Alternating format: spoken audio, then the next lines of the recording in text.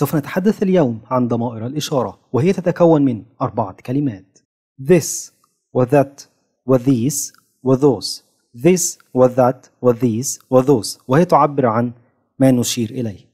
في البداية سنتحدث عن ضميرين فقط وهما this وthat يشير this وthat إلى singular يعني المفرد. فعندما نرى شيئا مفرد نستخدم للإشارة إليه إما this أو that. ولكن هناك اختلاف. ما هو الاختلاف يا ترى؟ this للإشارة إلى المفرد القريب near. أما that للإشارة إلى المفرد البعيد far. نأخذ مثال. إذا تخيلنا أنك أنت هذا الشاب الوسيم وبجانبك هذه الطاولة وبجانبك هذا القلم. فإن هذا القلم مفرد وهو بجانبك وتستطيع الإمساك به فتقول this is a pen this is a pen أما إن كان هذا القلم بعيد عنك ولا تستطيع الإمساك به فتشير إليه وتقول that is a pen that is a pen. لنأخذ مثالا آخر.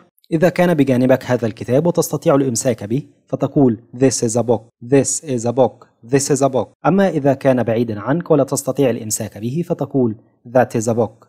That is a book. ننتقل إلى باقي الضمائر وهما these و those. تشير these و those إلى البلورال وهي الجمع. وللعلم في اللغة الإنجليزية أكثر من شيء واحد فهو يعتبر جمع. لا يوجد مثنى في اللغة الإنجليزية مثل العربية. ولكن هناك اختلاف بين these و those these تشير إلى الجمع القريب أما those تشير إلى الجمع البعيد لنأخذ مثال مثل المثال السابق آه نفس الولد ونفس الطاولة ولكن هنا الاختلاف أن سيوجد قلمين ولكن القلمين جمع ويمكننا الإمساك بهم فماذا نقول؟ نقول These are pens. These are pens. These للجمع القريب are pens are لأنهم جمع لأنهم أكثر من قلم. These are pens. ولكن ماذا إن كانوا في نهاية الطاولة؟ فنشير إليهم ونقول Those are pens. Those are pens. لنأخذ مثالا آخر إذا كانوا كتابين سنقول These are a box. These are box.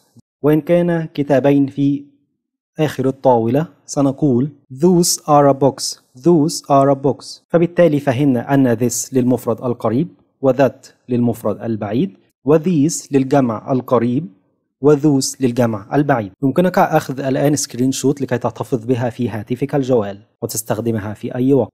ولكن هناك استخدامان آخران يمكنك استخدامهما ل this عندما تريد أن تقدم صاحبك إلى والدك فماذا تقول؟